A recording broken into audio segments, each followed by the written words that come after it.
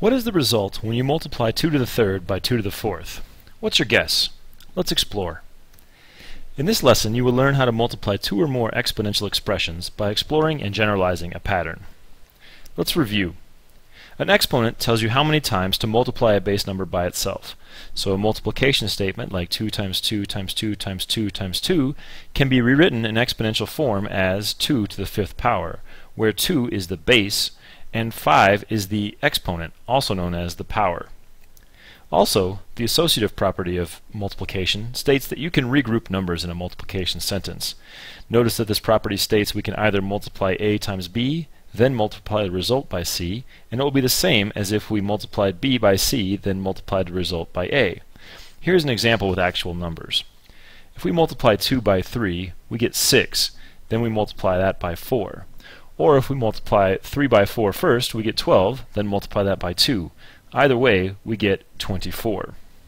Back to the original question.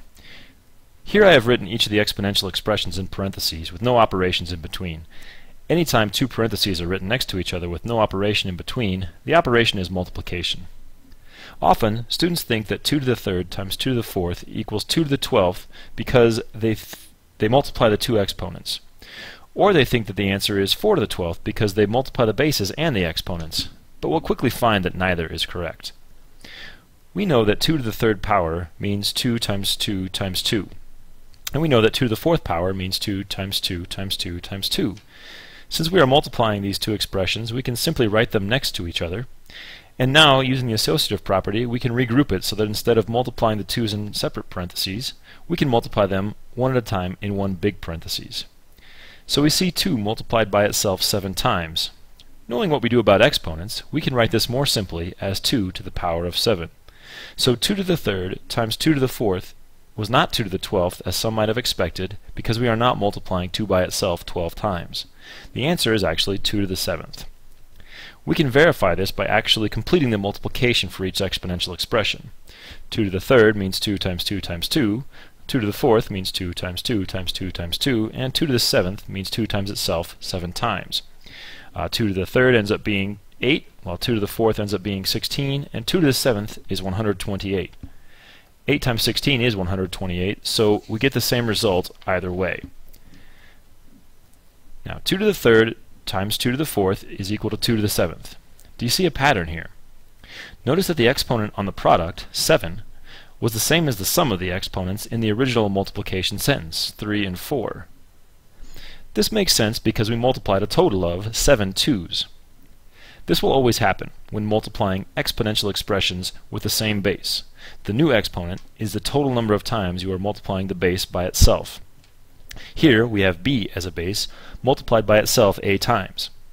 Then that result is multiplied by b as a base multiplied by itself c times a plus c just represents the total number of times we use b as a base. Here's an example. We are to simplify this expression by rewriting it as a single exponential expression. First notice that the base of both exponents is 10. So I want you to visualize expanding this to 4 tens in a multiplication sentence times 7 more tens in a multiplication sentence.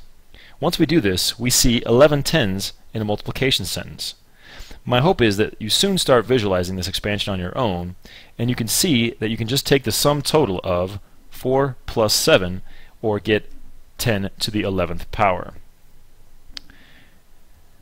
In this next example, notice that both of the bases are some number x.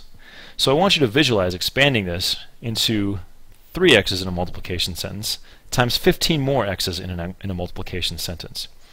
Can you see the string of 3 plus 15 x's or 18 x's in a multiplication sentence? So the answer is x to the 18th. Be careful with this last example.